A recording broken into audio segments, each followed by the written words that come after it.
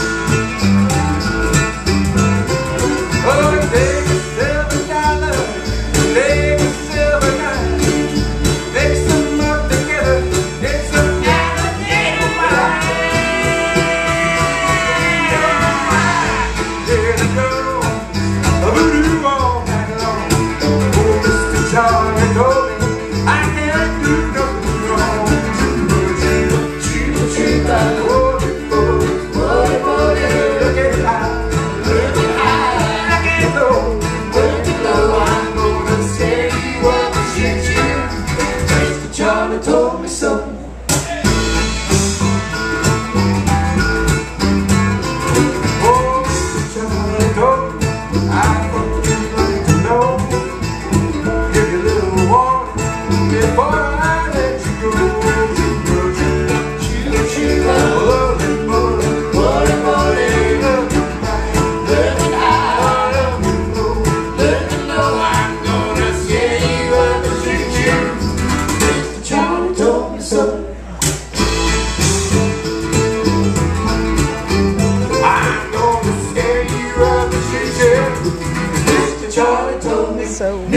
Charlie told me so.